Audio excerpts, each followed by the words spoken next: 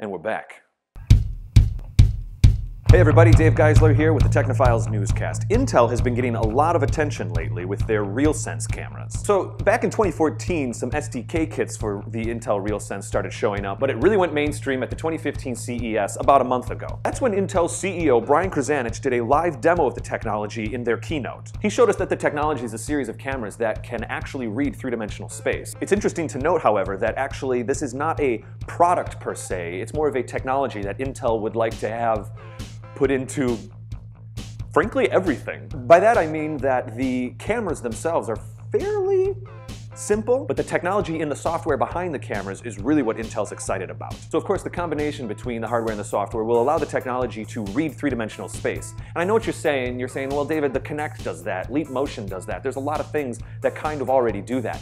The thing is, this is like a whole nother level. The way RealSense works is there's basically two optic cameras that can uh, be used to render three-dimensional space, and there's one infrared camera. So we have an optic layer, an infrared layer, and what they're calling a depth layer. Essentially what the depth layer does is take the world and create all these little slices of three-dimensional space. And this is important to point out. What RealSense is doing is it's combining these layers so now it can do uh, facial recognition, but not just looking for eyebrows and noses. It can see someone's face, and it kind of knows it's looking at a face. Some developers who've been playing around with the technology for the past couple months have said that it's incredibly accurate. Um, it does not record as far back as a Kinect does. Essentially, a Kinect can scan an entire room.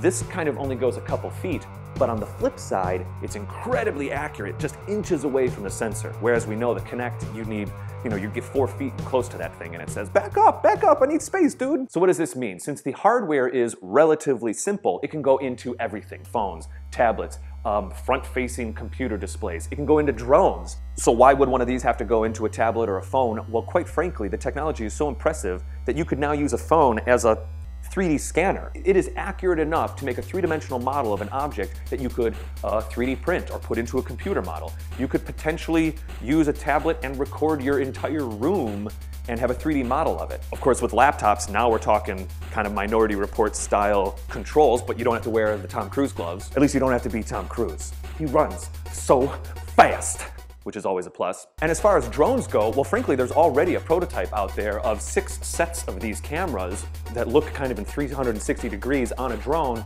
so that it can see three-dimensional space around it. There's a lot of forward momentum with drones and um, using GPS to recognize where they're at, no-fly zones that are put around airports and things like that. It's wonderful that drones are moving in that direction, but frankly, still, they don't know, they might know where they are on the globe, but they don't know that there's a tree to their right and a street pole to their left yet. Not to put too fine a point on it, but something like RealSense would allow that. So cool stuff. I mean, there was a lot of companies at CES that expressed that they were really excited to work with this technology. I, for one, am very excited. Now I can finally get that drone that really sees me for what I am. So how do you guys feel about RealSense technology? Do you think you'd be most excited to use it uh, as a 3D scanner on your phone, a Minority Report style interface on your computer, or a way for your drone to be able to see the world?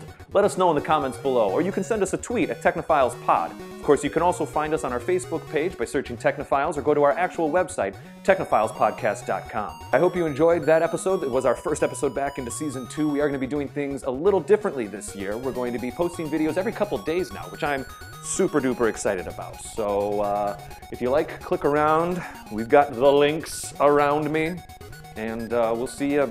Actually, we'll see you tomorrow.